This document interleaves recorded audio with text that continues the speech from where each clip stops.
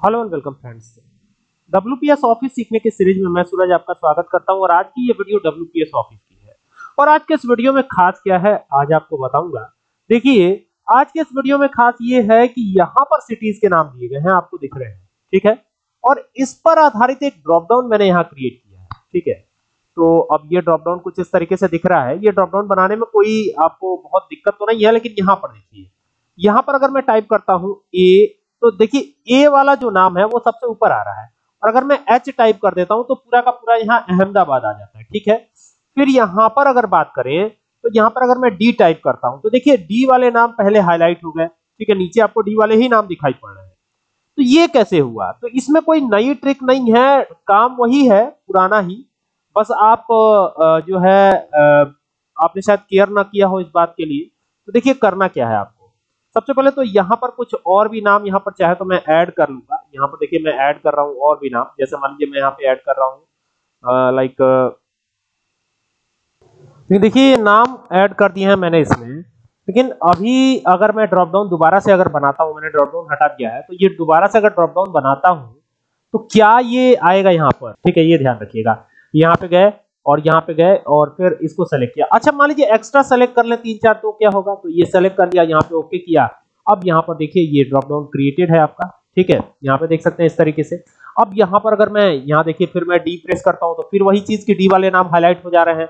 लेकिन यहाँ पर जो एक्स्ट्रा सेलेक्ट किया था, क्या इसमें नाम फिल कर दूँ? तो क्या कुछ चेंजेस होंगे? जैसे मान लीजिए, यहाँ पर मैं कर देता हूँ। सपोज़ कीजिए कोलकाता कोलकाता। ये कर दिया कोलकाता। अब यहाँ पे कोलकाता ऐड कर दिया। फिर यहाँ पे और ऐड कर देता हूँ, एक दो नाम और ऐड कर देता हूँ। जैसे यहाँ पे मैं एक नाम ऐड करता हूँ, बेतिया। तो ये नाम ऐड कर दिया। तो अभी आपने देखा दो नाम ऐड कर दिया हमने। तो यहाँ पर जो ड्रॉप डाउन बनी थी, इसमें कोई फ़र्क पड़ा है क्या? यहाँ पर चेक कीजिए। तो जैसे ही मैंने ऐड किया तो इसमें भी वो नाम ऐड हो गया। तो ब्लैंक सेल्स को सेलेक्ट करने का एक फ़ायदा है। ठीक है? तो अगर आप ड्रॉप डाउन बनाते समय ब्लैंक सेल को सिलेक्ट करेंगे तो एक फ़ायदा हो जाएगा। आपको देखिए डी वाले जो भी हैं, अब बीच में भी डी कैरेक्टर आ रहा है तो भी उसको हाईलाइट कर रहा है। ठीक है? लेकिन ये चीज़ आपको जनरल एक्सेल में नहीं मिलेगा। मैंने एक्सेल का मेरे पास 2021 है, लेकिन ये फीचर आपको 2021 में भी नहीं मिलेगा। 365 अगर आप यूज़ करते हो तो वहाँ आपको ये मिल सकता है। तो आइए देखते हैं एक बार कि एक्सेल में ये फीचर अवेलेबल है या नहीं। तो यहाँ पर हालाँकि मैंने एक ड्रॉप डाउन बनाया है, लेकिन फिर से एक बार बना के दिखाता हूँ आपको कि ये कैसे बनेगा। यहाँ पे एक ब्लैंक सेल पे चले जाते हैं और यहाँ डेटा टैब पे जाएँगे और यहाँ से जाएँगे कहाँ डेटा वैलिडेशन पर। ये डेटा वैलिडेशन पे आए। इसे बना लेंगे क्या? लिस्ट ठीक है, ये लिस्ट बना लिया। ठीक है ना? ये लिस्ट बना करके क्या करेंगे? यहाँ पर इन सबको सेलेक्ट कर लेते हैं। मैं एक भी एक्स्ट्रा कॉलम नहीं सेलेक्ट कर रहा, क्योंकि पता नहीं कि पहले ये चले या ना चले। तो देखिए, ये ड्रॉप डाउन तो क्रिएट हो गया, लेकिन यहाँ पर क्या, अगर मैं डी टाइप करता हूँ तो यहाँ पे कुछ भी हाईलाइट होता हुआ नज़र आ रहा है नीचे आपको।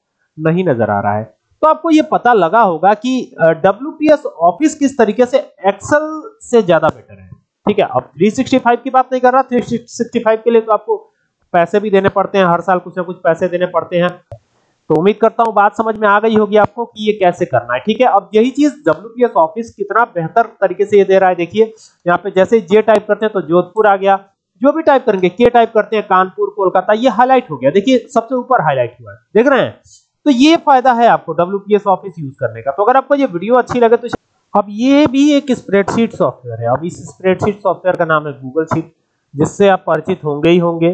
गूगल शीट की सबसे खास बात ये है ना कि गूगल शीट आप यूज़ करते हैं और गूगल शीट पे आपका डेटा सेव रहता है तो कहीं से भी एक्सेस ले सकते हो आप। ठीक है, आपके पास सिस्टम हो ना हो, आप अपने ईमेल आईडी से लॉग इन करिए और कहीं से भी एक्सेस प्राप्त कर सकते हैं गूगल शीट का। ठीक है गूगल शीट मुझे लगता है कि एक्सेल से तो कहीं ना कहीं बेहतर ही है। मेरे समझने में तो यही है ठीक है?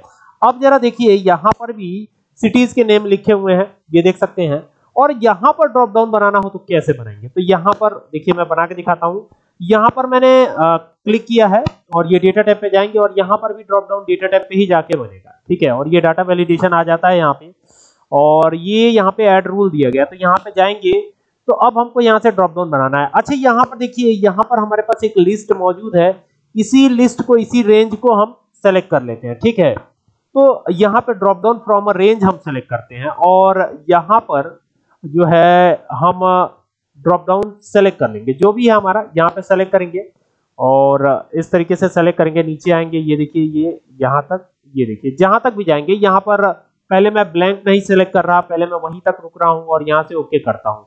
तो अभी देखेंगे तो यहाँ पर भी ड्रॉप डाउन बन गई है और यहाँ पर आ, मैं ओके कर देता हूँ एक बार।